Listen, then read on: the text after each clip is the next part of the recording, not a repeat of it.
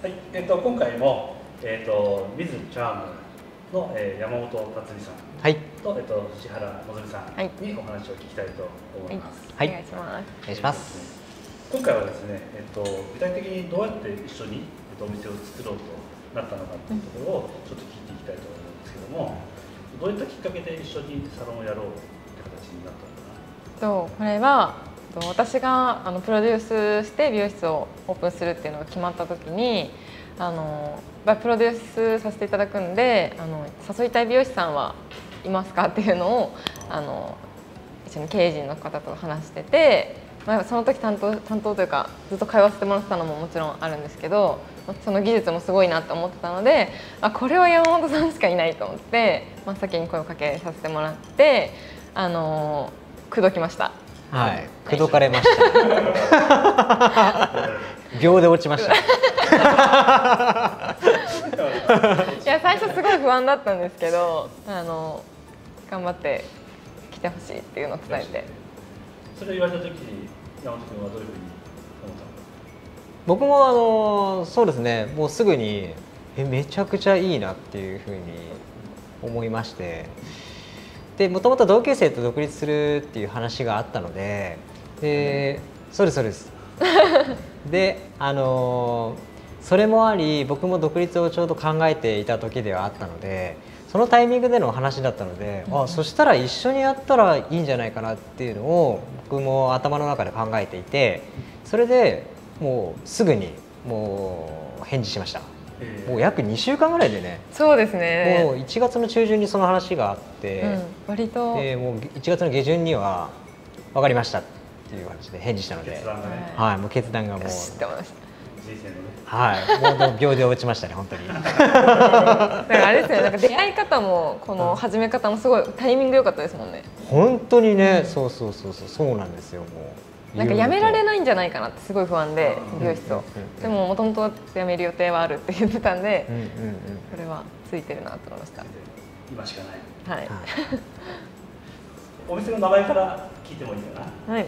はい、えっと、お店の名前がミズチャーム。ミズ？ミズチャームミズチャーム。はい。はい。これどんな意味がある？お女性をメインとしたターゲットのあのコンセプトのお店を作っていくっていう流れでまあミズがあの、まあ、全ての女性に敬意をという形でつけさせていただいてチャームっていうところで女性一人一人の魅力を引き出していく、まあ、そんなコンセプトでお店を作って名前も決めました。そうですね。役員含めて何人かで相談してみんなで意見とかイメージとか出し合って、まあ、女性ターゲットってもともと決まってたのであのそこに対して、まあ、ちょっと敬意を込めた意味とあとはあの魅力っていうふうに言ってくれたんですけどなんか自分らしく美しく生きるっていうのをタグラインにしてて、まあ、それっても美しさっていうのはそれぞれ一人一人違うよねっていう意味で一人一人のあに合ったその人の魅力を引き出そうっていう思いがこもってます。なんか女性女性らしいなんか可愛らしい名前とそのスッキリした感じとそうですそうですね。チャームっていうのはちょうど可愛らしい感じになってて、いいバランス感覚。そみさんがそのプロデュースってことなんですけど、はいえっと実際に具体的には、はいえっとどんなことをしたのかとかっていうのをちょっと聞かせてもらえますか？プロデューサーとしてはあのーまあお店のコンセプトをまず決めたりとか、あとはまあ内装、お店の内装、あとは美容師さんとのあの山本さんもそうなんですけど、お声かけさせていただいたりとか、そういう部分もやらせていただいて、なんかプロデュースっていうと結構なんか PR なの？とかあの広告塔みたいな感じなの？って言われることが多いんですけどどっちかどっちかっていうとっていうか別その広告塔とかそういうキャラクターとしてだけじゃなくてしっかりあのコンセプトとかなんか美容室を作っていくっていう部分にも携わらせてもらってます。その感じ。はい、の。もう、アイデアだったりとか、はい、そういうコンセプトとかを聞いてみたときに、はい。そうですね。あのそれこそリアルオーダーの撮影をした後の帰りの電車でお店を作るんであればどういうコンセプトでどういう内装がいいよねっていう話をしていた時にもうまさに彼女が言ってるのと僕が思ってることがあすごいなんかマッチしてるなっていうのでもう彼女にもうプロデュースはもう本当にお願いしようと思ったのともうあの彼女が思ってることがもう全て反映されるんだったら僕もなんか同じ気持ちなのでもう任せようっていう一任ではい。すごいって感じです信ね。頼感が。信頼感ありますね。でそのお店のなんか、えっと、内装だったりとかあの家具だったりとか、はい。照明だったりとか、うん。なんかどんなところにこだわって選んだとか、うんうん。なんかどういう選び方をしたとかこれは見てほしいとかって何かあったりしますか？えー、めちゃくちゃありますよ。なんかまず空間としてはやっぱ女性向けなのであの柔らかい雰囲気がいいなと思ったんですけどやっぱ可愛くなりすぎるのも私自身もあんまり好きじゃないのであのどっちかというとシンプルめにっていうのとあとは空間の広さっていうのが私すごい大切かなと思って余白みたいなだと思っててなんでそのシャンプー台とかも最初はシャンプー台の前壁があったんですけどそういうのもなくしてくださいって空間全体的に広くしたいですっていうことをあのお伝えしました。あとポイントとしては全体的に曲線っていうのを意識してて鏡とかあの電気照明とかっていうのもあのできるだけ丸くして柔らかい雰囲気女性向けの柔らかい雰囲気にしました。で一番私が気に入ってるのはこのあの壁側の席の鏡なんですけど、まあ、ただの丸とかじゃなくてちょっとウェーブとかをつけた鏡を使ってもらってお気に入りです。どうですか？はい。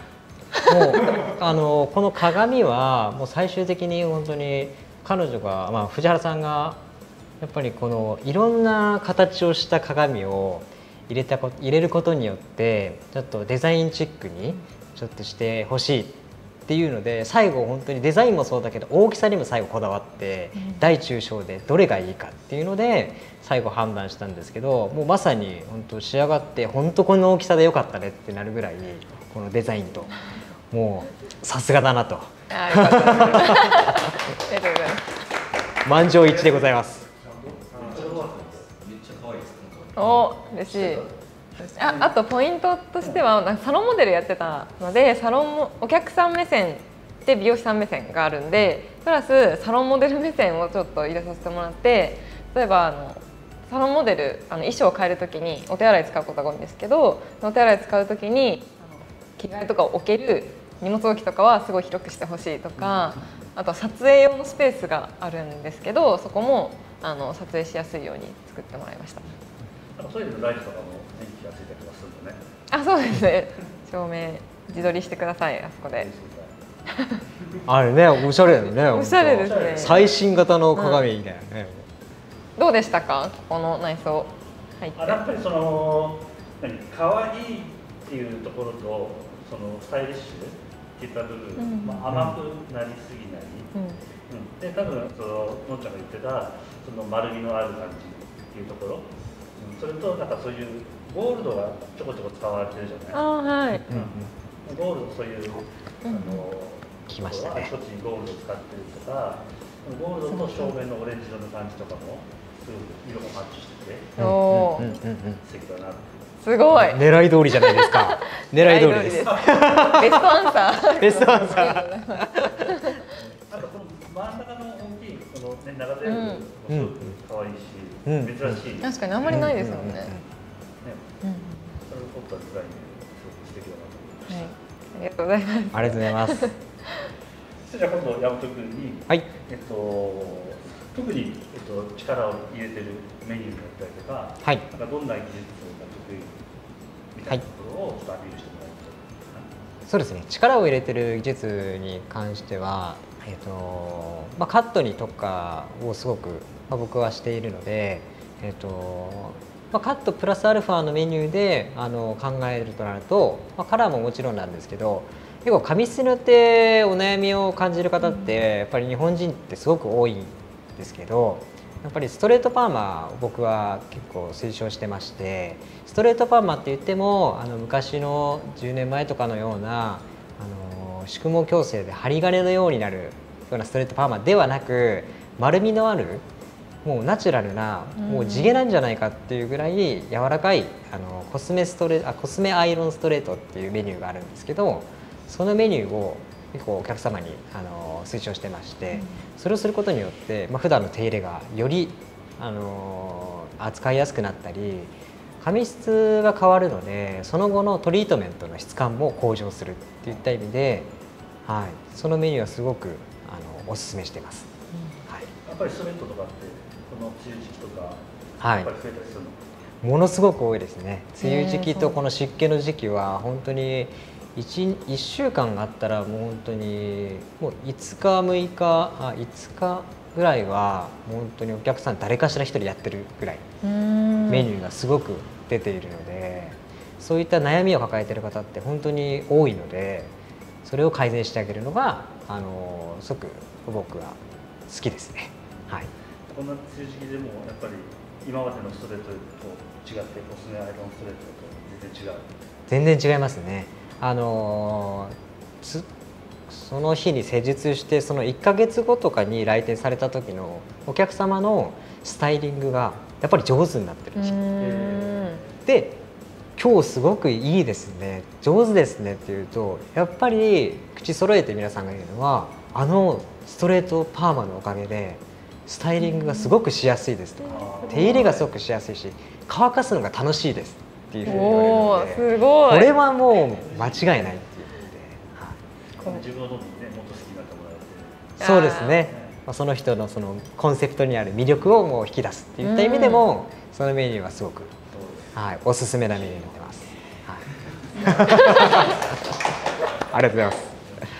お店スタッフは何人ぐらいでやってるんですか？え今現在は、えー、とスタートの段階で4名。四名。はい。こんにちは。こんにちは。残り3名です。るじゃあ4名四名よになります美容師がろしくお願いしますよろしくお願いしまお待ちしてます。すで今のところ予定では、えー、と9月10月11月で、え1名ずつ増えてきまして。あそんなに増えるんだ。はい、なので11月の段階で、えー7人になる予定でございます。はい、ね。はい。楽しみですね。楽しみですね。でもセット面もたっぷりあるし。そうですね。ね。14面あるので、あのーもうすごく使えるかなと。シャンプー台も5台あるし、ね、ございます。うん。はい。シャンプー台少ないと大変だもんねいや本当に当初本当に4台にするか5台にするかって迷った時に話してやはり5台の方がいいっていう話になって5台になったらもう本当に5台でちょっとぴったりになっちゃって よかったよかったみたいな。もうなんかシャンプー台こだわりとか？シャンプー台のこだわりはですねあのフルフラットになるようなシャンプー台を今回あの導入していましてこのシャンプー台自体もあの2年前に発売されたばかりの新商品で今あの売れ行き殺到で注文があの追いつかないぐらいうのん。ものなんですけど今回もう本当特別にあの取り押さえしてもらって支援してもらってはいそうですよく揃ってね5台もね。いやもう本当にギリギリって言われました本当にはい。めちゃくちゃ寝心地いいです。なん。感じどんな感じだった？いやもうふわってして。まずなんかフルフラットの時点でなんかすごいリラックスできて全身力抜けるしあとなんかクッション。クッション。クッションを山本さんが入れてくれてそれがあるから本当に寝心地いいし疲れないですねシャンプーつけてても。うおすすめです。あもう寝れます。確実に寝れると思います。10秒ぐらいで寝ます。はい。どんなお客様に、えっと、お店にえっと来てほしいかどんなお客様は水ちゃんおすすめですよみたいなテクニックはい、えーもうまず本当に髪の毛を切るだけではなく切ったことによってあのその後の生活をあの楽しんでいただける、まあそしてあの切ったことによって例えば女性であればあの彼氏ができました。結婚ができました、だ何かの人生の節目に携われるようなあの美容師でありたいしそれを一緒に喜んであの今後もあの一緒に綺麗になっていくっていうあのお客様に来ていただきたいなって思ってます。はいと私はもう本当に美容師さん今集まってくださってる美容師さんは本当にあの皆さん優しいですしなんかそういう親身になって話を聞いたりとか一人一人のお悩みに寄り添ってくださる美容師さんだなって私自身感じてるので、まあ、お悩みある方もそうだし、まあ、最初に言ったようにあの自分自身もっと知りたいとか綺麗になりたいっていう方にはすごいおすすめできる場所でありたいなっていうのとあとは、空間を含めてなんかワクワクしたいなって思ってくれてる方が来た時にあの綺麗にもなるし空間も綺麗だしリラックスできる。また行きたいなってなんかここに来るのをすごい楽しみにしてもらえるような場所に作っていくので、まあ、そういう美容室っていうでも短くないじゃないですか2時間3時間とかいる場所なのでそこの時間もしっかりワクワクしたいなっていう方にお勧めしたいです。ありがとうございます。はい。ありがとうございます。はこのお店を出すのとかって昔から夢だったりとかしたそうですね。あの独立してお店を出すっていうことはすごく前々からずっと思ってました。はい。何か前のリビの土橋さんとかに相談したり、はい、アドバイスもらったこととかってあったりしたそうですねあの今回このお店を出すっていうことにあたってもう約1年ほど相談させていただいてやはりいろんなことをアドバイスいただいたりやっぱりその立場になってみて変わることっていうのもあるしあのよりお客様に喜んでいただけるようなあの空間づくりだったりスタッフのあの関係性だったりっていうそういったもろもろあのアドバイスをいただいて僕もちょっと気持ちが切り替わりあのしっかりと頑張っていこうっていうふうに、まあ、あの背中もすごく押していただいたのでもうすごくいろんな面でサポートしていただいてありがたい限りで本当感謝しかないです。やっぱり美容師でお店に立っている時と、ね、オーナーとか、えっと、そういう立場で、えっと、お店に関わる考え方だったりとか、うん、気持ちの部分違うこととかやっぱり大きいかな。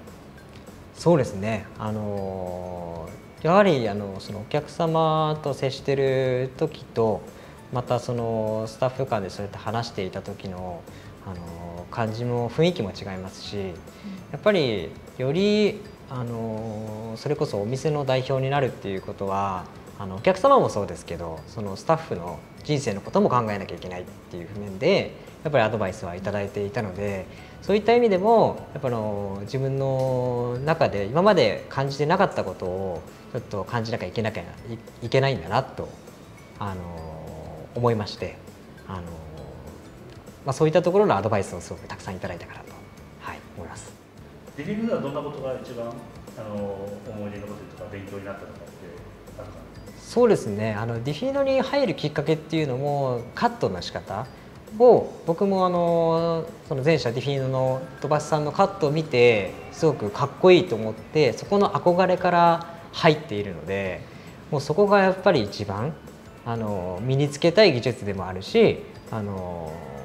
すごく学ばせていただいたことがたくさんあるので、まあ、もちろんスタッフ間もそうだしイベントごととかもそうだけどやっぱりいろんな技術を身につかせていただいた。そういった点ではすごくいろんな思い入れがあります。今ねこだわりの使ったはいチャームぜひ来てほしいですね。はい。はい、ぜひ来てください。ぜひ来てください。来てください。ありがとうございました。